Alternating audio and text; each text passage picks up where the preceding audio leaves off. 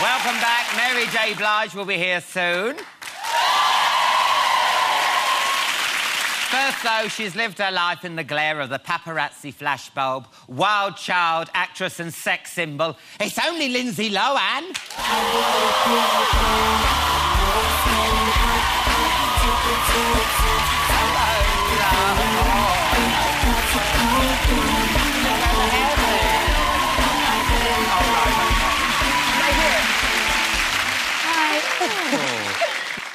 How are you? Do you want a drink, love? Oh my. Um, I'm okay, thank you. Is that? Are you? I'm sorry. Is that offensive? Lindsay Lohan not having a drink. I've stocked up especially. I've got. really? Is that necessary? I've got a backup globe back there just in case you drank me out of house and home. Now, you've got your own fashion label now. Yes. And I had a little look at it. You love leggings. It started with leggings. It's 6126, and now we Yeah. did 6126 collection. So now it's a full clothing line. Um, 6126. Yeah. That's not your pin, is it? no, you it's can't not. be careful. You've got to protect your pin. Well, it's not my pin. I don't even have my pin memorized. Now, why is it called Um, 6126? it's Marilyn Monroe's birthday, um, Oh. and I've, I think she's fantastic, and I've been inspired by her in a lot of ways. Um, and so I wanted to kind of have, have it to have something to do with her. Now, is it fair to say you're a little bit obsessed with Marilyn? I think obsessed is a strong word. I think you are obsessed. You've got a tattoo. Not of Marilyn. No, no, of what she, one of her. Um... Oh, yeah. It says, um, stars, all we ask for is our right to twinkle. Oh. And the other one says, I restore myself when I'm alone. And these are all Marilyn Monroe quotes that you've tattooed on your arm. There's arm. just two. Well, I think two still. It's not like I have a face of her on my arm. Well, no, that ill. You see people like that, don't you? I was in a club once and I saw someone with Madonna tattooed on her back, and you know, it's like from like 1987. You know, when she was dressed as a senorita, and he has such a hairy back. Why, was, why did he have no shirt on? Yeah, well, it was it was a uh, special club. What kind of club was this? My friend had wandered into this club, and I was I was looking for him. It was very dark. Now, the reason I say it is because you posed as Marilyn Monroe yourself, didn't you? I did. Um, I was asked by Bert Stern, who shot on the last sitting with her, Oh, I know. to, um, yeah, to pose as her. Yeah. I wasn't aware of what you know the New York Times article was going to be in the end of it. Oh no, what? I didn't know about that. What's well, I didn't know that there was they were going to show any sort of nudity. Yeah, because I mean, my grandmother wasn't too happy about that. Oh, I know, because I saw one of them. Wondering if you got your um, see your breasts and everything. But then, but then Marilyn's, you saw her breasts, didn't you? Yes, Yes, I mean you're only copying love, isn't it? I know. It's just I, I wish I had known. I didn't. I wasn't aware of it. Well, you've got not- That can they I were just definitely going to show it. I didn't know. Oh, well, you got nice okay. breasts, anyway. It could be worse, couldn't it? Funny if you had awful pair of tits. now, you've got um, a reputation as a wild child. Do I? I think you know you do.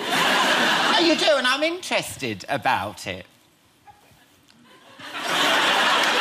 How did it go off the rails so much? No, I mean, like, you know, you, had the, you were like a, an actress and everything, and then all of a sudden we started seeing these things in the, the magazines and... No, it's like- really it's it's it's it's hard because you know you get into the industry for a certain reason and then that completely distracts from everything that you've worked for. Um, Yeah. Which it's not fair, but it's something that I guess I think the obsession with tabloids has become so much bigger than it, it was in the beginning, like few years ago in general. I remember reading one, one studio exec sort of gave you a hard time, wrote an open letter accusing you of being unprofessional. Well, I was late to set um, one day. Yeah. Um, and it was a personal issue. I was, had a fight with my boyfriend the night before, so I was upset, and I couldn't get to sleep. So I was late. I was like 15 minutes, no, maybe a little longer than that. I was like a half an hour late to set. Um, Yeah. Then they sent a letter out and it released it to the press. That's not So fair, then ever since then, it was kind of. Because they said, we've been told that your absences from the set were due to illness and heat exhaustion, but we all know that the real reason for your exhaustion is your all night partying. it's long days that when people film, it's long hours, and it gets, Yeah. you know, it gets it's draining because you have to be on every second that you're there, and it's it's like any job. It's just sometimes 19 hours a day.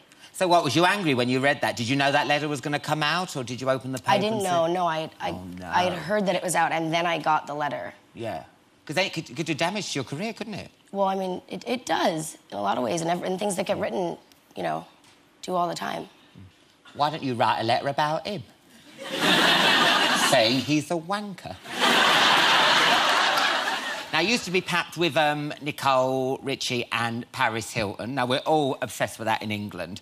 So tell me, what were those nights out like? Say I was sitting at home, I hear beep, beep. I open the curtains. There's you, Paris, and Nicole. Alan, come on, we're going out. Get your leggings. Where would we be going? Talk me through it.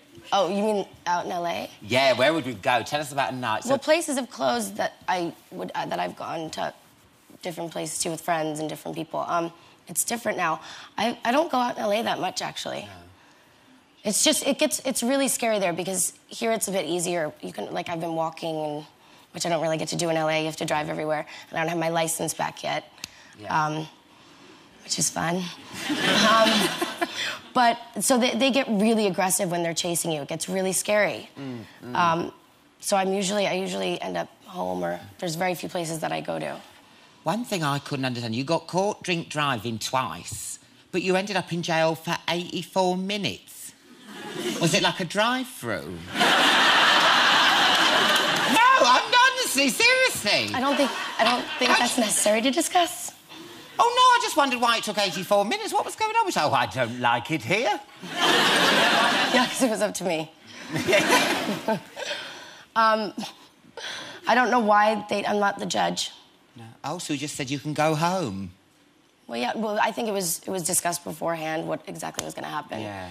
So what did you do for 84 minutes? Just sat in there and had a chat? no, I don't know. I'm, I've never been to prison. I don't know what it's like. I'm honestly, I- I'm it intrigued. I'm not is- being snide. I just not uh, I, I find it. in-. No, I can imagine. It's scary. oh. It taught me my lesson. Let's talk about your dating. Are I'm you not- dating anyone at the minute? No? I'm not. I wouldn't tell you if I was anyway. Why wouldn't you tell me? I'm a friend. Let's get this straight. Are you Arthur or are you Martha now?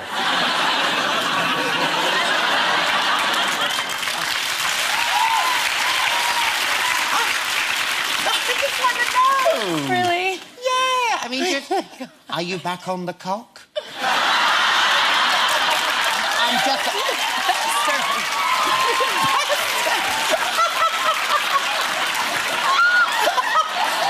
It's, it's a serious question.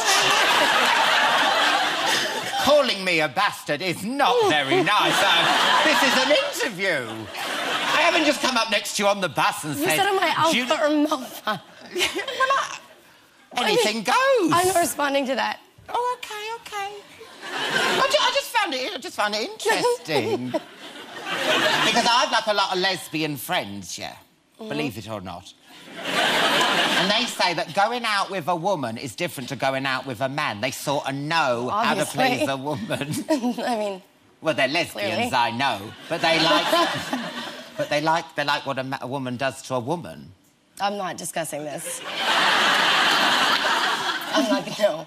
No. Okay. Will your next one be a man or a woman? I'm not discussing it. Okay, okay. No, just because there are people, people like who, who fancy you and then they want. oh no, that no, that's not open. Let's See if there's other questions, Okay, other questions. Um, other things to discuss. Besides what's unnecessary. well, I, ju- I was just intrigued. Are you intrigued? Yes! Oh, right, okay, all right. You're going to hit me in a minute. um, been anywhere nice recently?